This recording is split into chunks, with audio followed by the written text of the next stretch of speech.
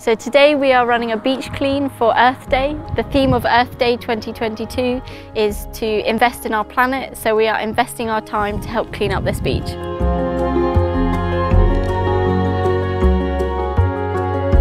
Kind of wanted to do this like as a homage to how students do respect the environment and do want to try and save the oceans and save the planet. The official Marine Conservation Society charity estimates that between 9 and 13 tonnes of plastic ends up in the ocean every year and that number is only set to increase. So every little we do here is only going towards helping the situation.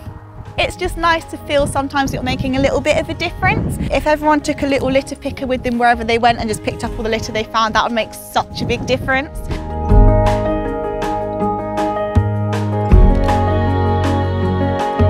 Activities such as this, whether it's a beach clean or a litter pick in the common or your local area, I think what else it can do is kind of bring people together. So bring like-minded people together, but also an opportunity for people, and students especially, who don't really know much about or aren't familiar with that, and kind of get engaged with the community, get engaged with new people, make new friends, and hopefully join some societies that have a, a green kind of lean into as well in the future all of these things, uh, students are clearly passionate about trying to save the environment and saving the planet and sustainability. If you want to get involved in a beach clean, just do it. Don't be shy.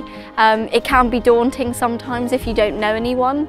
Um, but everyone's really friendly and they'll always chat to you and make you feel included. So please come along to any future beach cleans. So it might feel sometimes like we can't make that much of a difference, like it's not going to do much of the planet overall, but you know, every little helps.